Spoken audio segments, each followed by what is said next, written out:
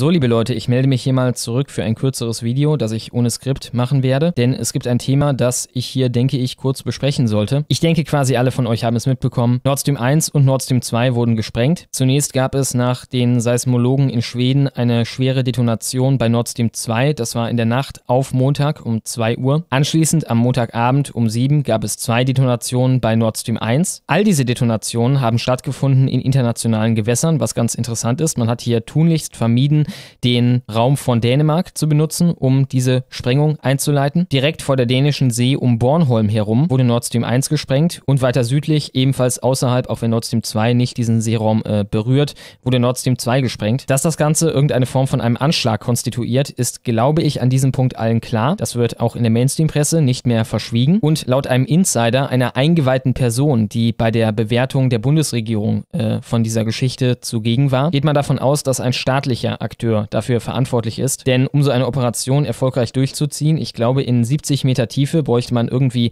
Spezialkräfte oder ein U-Boot mit einem Torpedo oder irgendetwas dergleichen. Welche Nation dafür verantwortlich ist, gut, äh, ihr werdet schon wissen, was die Lackmusreflex-Antwort unserer Regierung und unserer Presse darauf war. Russland natürlich. Man ermittelt offenbar einzig in diese Richtung, laut einem Curio, jedoch ohne irgendeinen konkreten Anhaltspunkt dafür zu haben. Es wurde dann verwiesen darauf, dass Russland technisch in der Lage dazu wäre. Nun, ich kenne noch ein anderes Land, das technisch in der Lage dazu wäre. Und ich schließe mich dem Bundeswehrkommandeur Giss an, der in der Tagesschau oder besser gesagt im NDR verkündete, aus unserer Sicht ist natürlich die Aufeinanderfolge der Teilmobilmachung Russlands, der Referenten in Anführungszeichen und jetzt die Geschichte mit der Pipeline eine sehr bemerkenswerte Abfolge der Ereignisse. Ja, dem schließe ich mich vollumfänglich an. Das ist eine sehr bemerkenswerte Abfolge der Ereignisse, jedoch keine, die in irgendeiner Form nahelegen würde, dass Russland dahinter stecken würde. Also helft mir hier mal. Was hat Russland davon? Letztes Wochenende noch hatte Russland volle Kontrolle darüber, ob durch diese Pipelines Gas läuft oder nicht. Russland kann uns im Winter, und ich denke, das war wahrscheinlich auch der Plan, jedenfalls ist es, was ich machen würde, wenn ich Putin wäre, Nord Stream 1 einfach zudrehen und dann sagen, wir nehmen jetzt Nord Stream 2 in Betrieb oder es gibt überhaupt kein Gas mehr. Das können sie jetzt nicht mehr. Das Ding scheint komplett gegrillt zu sein, also so zumindest die ersten Erkenntnisse. Es füllt sich mit Wasser. Ich glaube auch, dass wenn man eine Operation von diesen Ausmaßen durchführt,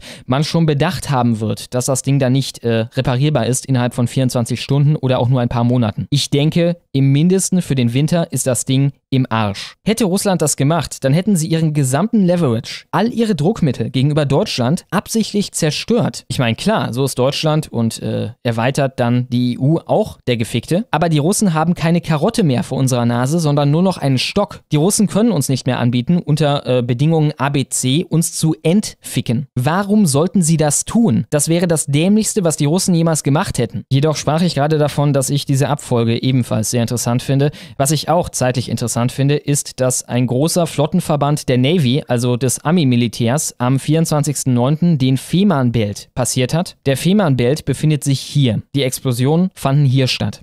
Den Clip, den ihr wahrscheinlich schon gesehen haben werdet, wenn ihr euch in den alternativen Medien damit auseinandergesetzt habt, von beiden will ich auch noch mal kurz zeigen. Die quasi Ankündigung von etwas in diese Richtung, sagen wir es mal so. If Germany, if, uh, if Russia invades, uh, that means tanks or troops crossing the, uh, the, the, border of Ukraine uh, again, then uh, there will be uh, we there will be no longer a Nord Stream two.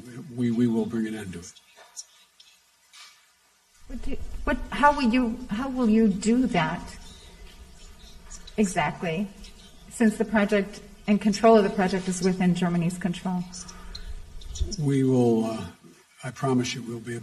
Das war übrigens noch vor dem Einmarsch. Das war die Ankündigung, dass im Falle eines Einmarsches Amerika Nord Stream 2, ob Deutschland will oder nicht, ein Ende setzen werde. Und auf die Frage der Reporterin, wie man das denn bewerkstelligen wolle, da es doch eigentlich im Hoheitsgebiet von Deutschland liege oder in der Entscheidungsgewalt von Deutschland, verspricht er dann, dass man das schon irgendwie hinbekäme. Die Auswirkungen davon waren innerhalb von 24 Stunden schon gravierend. Der Gaspreis ist gestiegen um 12 Prozent innerhalb von einem Tag. Aber dennoch versucht man natürlich, uns hier zu beruhigen. Beruhigen. Keine Auswirkungen auf die Versorgungssicherheit habe das Ganze. Und ich sehe gleichzeitig auch außerhalb von unseren Medien oder unserer Politik diesen Sturm von Propaganda in quasi allen sozialen Medien, überall, wo irgendwie über dieses Thema diskutiert wird. Paradebeispiel 9gag. 9gag ist ja irgendwie so NATO-Propaganda Central aus irgendeinem Grund geworden, was diesen Konflikt angeht. Kein Tag vergeht da, wo man nicht zumindest ein Drittel Posts darüber sieht und in den Kommentaren darunter zu vielleicht 80% Bots, die darüber diskutieren aus einem bestimmten Blickwinkel. Genauso ist es auch hier. Überall, wo dieses Thema besprochen wird, wissen alle schon, es war Russland. Warum? Ich kann hierüber nichts Definitives sagen. Ich finde das alles ein wenig fishy, sagen wir es so. Ich glaube auch nicht, dass Greta sich die Taucherflossen übergestülpt hat und darunter geschwommen ist. Wenn ich Geld setzen muss, dann waren das die Amis. Und wenn es die Russen gewesen sein sollten, dann erschließt sich mir zu 0%, Warum? Und bei den Amis, naja, erschließt sich mir das halt zu 3000 Prozent. Sie waren von Anfang an gegen Nord Stream 2 oder eigentlich jeglichen Handel, den wir mit Russland betreiben. Sie sind jetzt seit dem Krieg noch 3000 Prozentig mehr. Irgendwie mag ich die Zahl 3000 Prozent gerade, aber egal, gegen Nord Stream 2.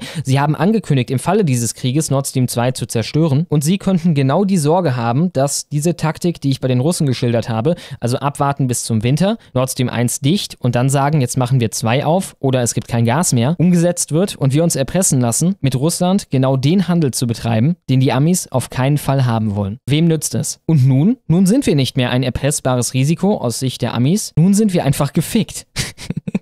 Also der Gegenstand, mit dem wir erpresst werden, der ist jetzt so oder so da. Den kriegen wir wahrscheinlich nicht mehr weg. Aber die Russen können uns ja nicht mehr helfen. Insofern kann man doch dann auch gleich voll ins Kriegshorn blasen, sagen, okay, Panzerlieferungen, Boykott von diesem und jenen, bla bla bla bla. Und genau da wollen die Amis uns haben. Tja, das wäre eigentlich auch schon meine kurze Bestandsaufnahme zu dem Thema. Wir werden sicher in der Honigwerbe auch noch mehr darüber reden. Die Patrons werden natürlich nicht für dieses Video hier zur Kasse gebeten. Ich hoffe, ihr hattet Spaß, soweit man mit dem Weltuntergang Spaß haben kann. Und wir sehen uns dann, wenn ihr mögt, morgen am Donnerstag nochmal in der Ketzerkirche. Wir wollten uns das äh, Interview bzw. die Debatte zwischen Weidel und äh, Strack Zimmermann ansehen. Bis dann oder bis Sonntag. Haut rein.